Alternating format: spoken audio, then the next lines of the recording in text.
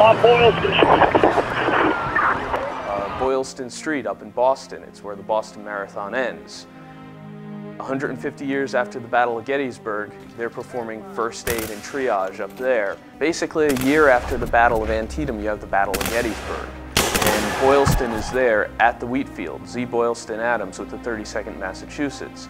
And he is in command of an aid station. And the wounded are coming directly off the field to this collection point and they're receiving first aid so the bleeding is being stopped and you have stretcher bearers on the field collecting wounded, bringing them to an aid station where they have first aid and triage, and then the ambulances bring them to a field hospital where they have their primary care.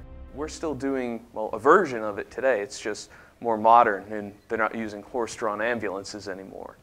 The man who changed it all was a man by the name of Dr. Jonathan Letterman. He was the uh, medical director of the Army of the Potomac.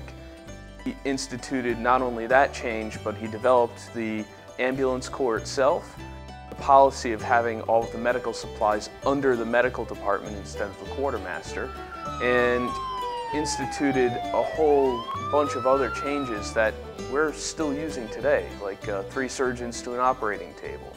That was him. Flash forward 150 years after the Battle of Gettysburg.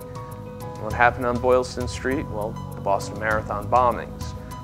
And that is one thing that you can see there is first responders going to the scene extremely quickly and they're providing first aid and triage. It directly relates not only to Boylston but to Letterman.